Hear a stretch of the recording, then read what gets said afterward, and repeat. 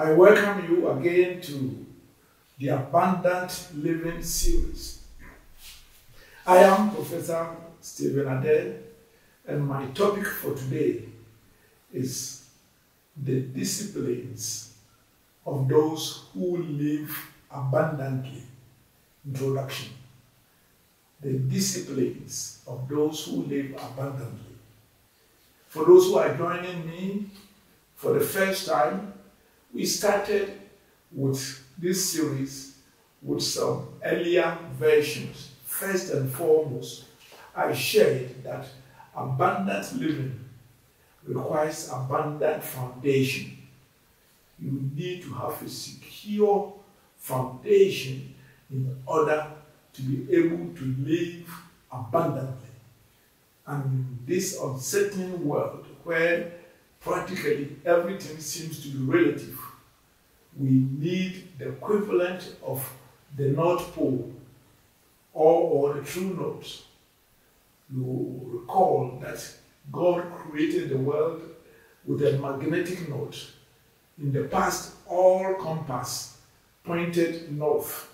And once you have a compass and knew where you are going, you will not get lost. We have progressed and now there's a global positioning system, but it all revolves around the true north because God has placed on earth a stable reference point. Whether you are Google or you are mouse, whatever you are, you can have direction. The equivalent also is required in our living. Amidst the uncertainties of life, we shared that Jesus Christ is the sure anchor which we can have as our true north or our reference point. When we come to the point whereby we know that our sins are forgiven because we have trusted in the redemption of Jesus Christ and we are washed by his blood and by faith we have been saved. So for us to live is Christ and to die is gain. We have a sure reference point I call it the organizing principle around which life revolves. Though I'm a professor of economics and leadership, I live a very simple life because my anchor is Jesus Christ and I need to ask, what would Jesus have me do? Or what would Jesus do in these circumstances? And in, invariably, I'm able to find my way, provided I'm willing to obey God.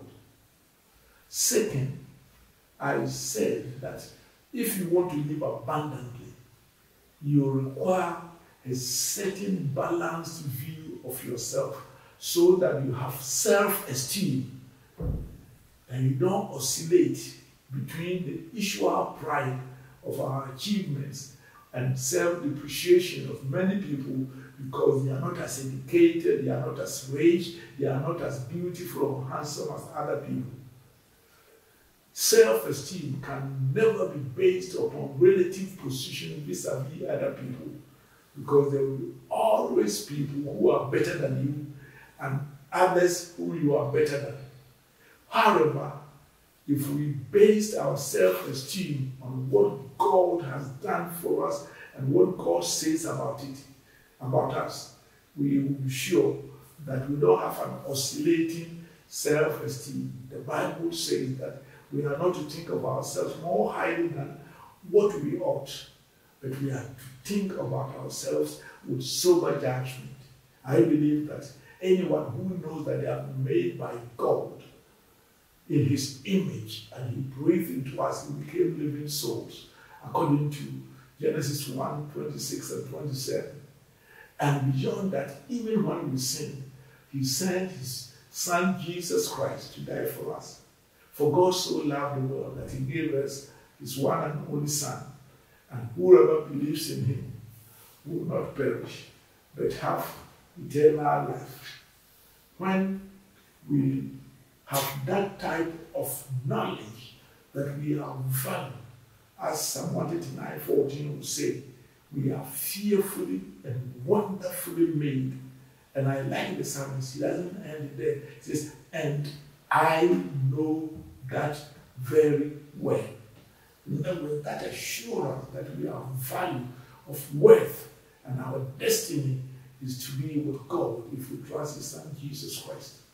On the other hand, we all know that there's something cynical about us that will laugh at us once you have good self esteem because you know, and I know, that even our own best estimation and standards, we are not able to meet it.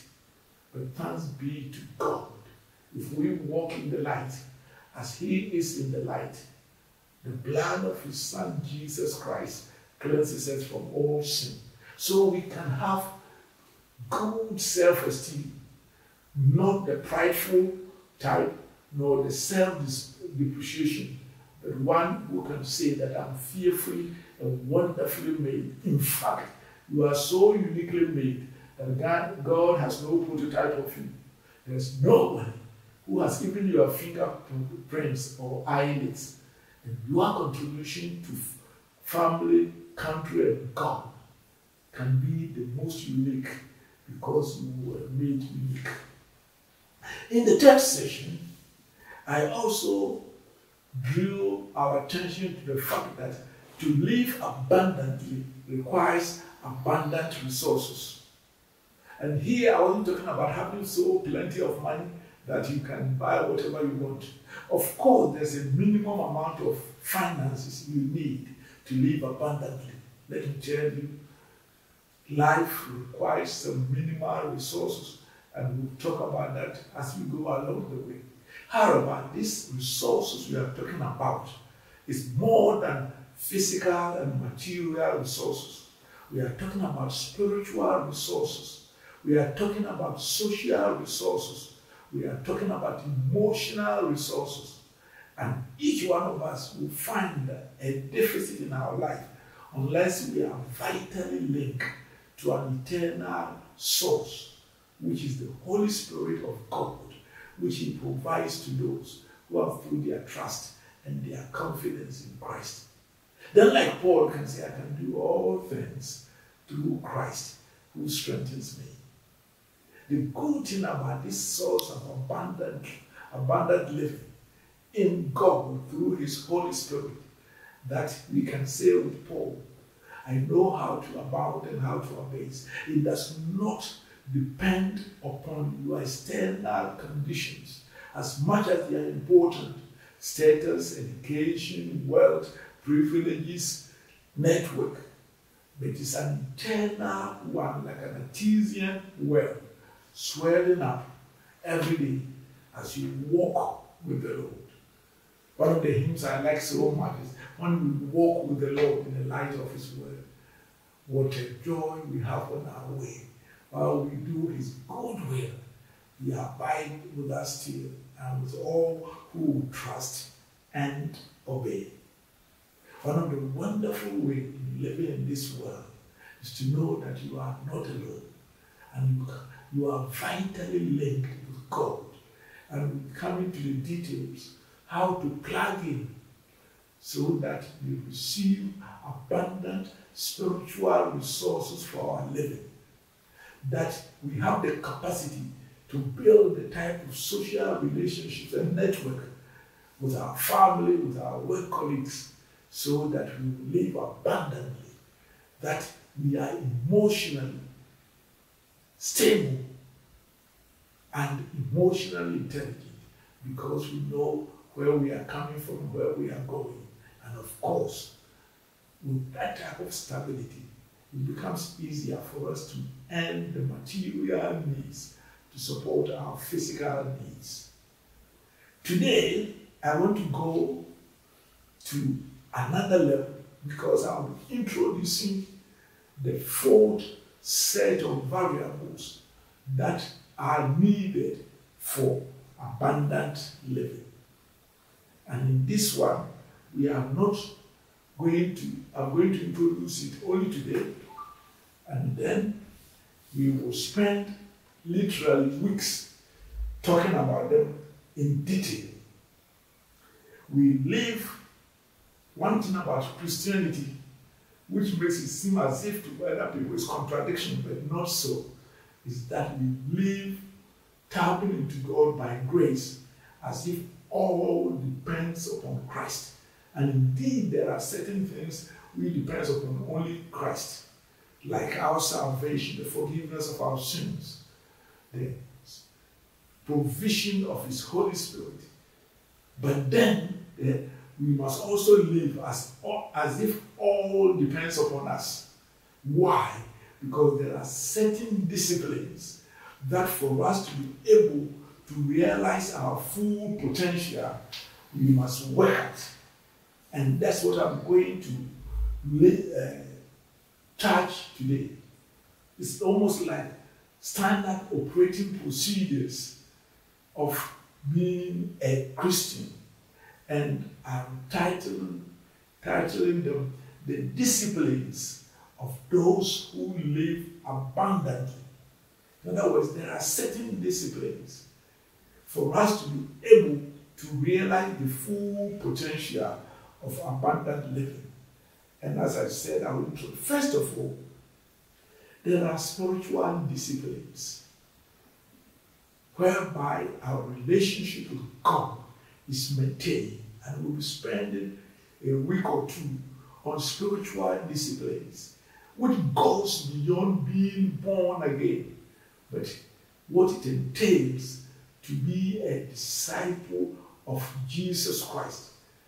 In other words, it's like your bulb or your light being linked to the source of power always. Because if at any time there's a disconnection, yes, the power, abundant resources, sources will be there, but you aren't going to get the full benefit, and there will be darkness because you are not connected to the source of power. What it entails in these spiritual disciplines of faith, I'm talking about living faith, of walking in the light so that there's no sin between you and God, reading the Bible day and night, and being careful to obey all that is written in it, being in fellowship with other believers and the rest, and not being ashamed of the gospel of Jesus Christ. Again, one of the disciplines, spiritual or the spiritual disciplines, is being able to arm yourself with the armor of God, not being afraid of Satan and his emissaries, neither think, taking them for granted because they are formidable enemies. They have been testing people since the days of Adam and Eve. But thank God, we put on the full armor of God and in the name of Jesus Christ and on the basis of our testimony, we will be able to defeat him against all the wiles and all the threats that he may bring away. So we will have one session on the spiritual disciplines of those who live abundantly. Then we'll talk about social disciplines, our relationship with one another. Jesus summed the, the law into two. Love the Lord your God and love your neighbor as yourself. In spiritual disciplines, you will find that over time you your love for God with your heart, your soul, your strength, and body will be increasing. And you will be enjoying daily and moment by moment fellowship with your Creator. When it comes to social disciplines, we will be looking at what it takes for us to live at peace with all men so long as it depends upon us. Whereby our life will be characterized by outreach of love, seeking the welfare of the people that we relate to, not being self centered, not being selfish, taking advantage of others, but loving them, having peace with them, being kind and generous with one another, and being reciprocated. Even praying for your enemies, as the Bible enjoins. And it is wonderful to have friendship with people, fellowship with your church members, and if you happen to be blessed with a marriage, being one with your spouse. These social disciplines, if you go against them, you will not enjoy abundant living. Not that God has not made provision for you, but because you are not disciplined It says that you cannot eat your neighbor and have them.